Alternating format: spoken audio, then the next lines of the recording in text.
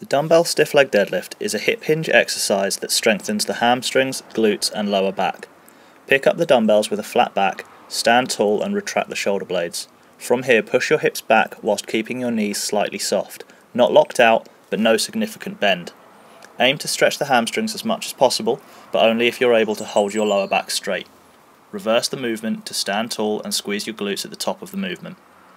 How low you can get the dumbbells is largely dependent on flexibility and coordination, so don't try to push for extra range if it compromises your lower back position.